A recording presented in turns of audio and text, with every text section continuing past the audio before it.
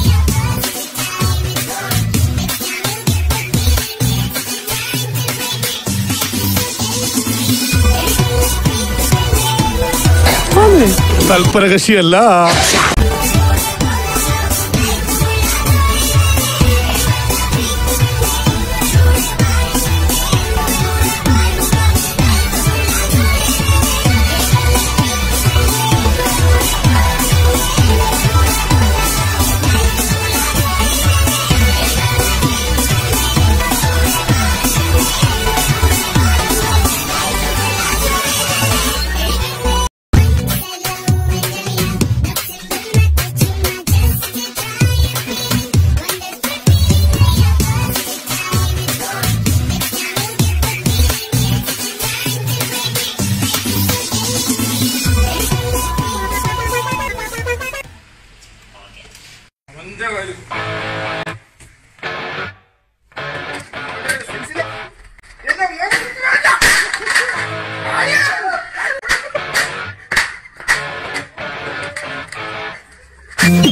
Thank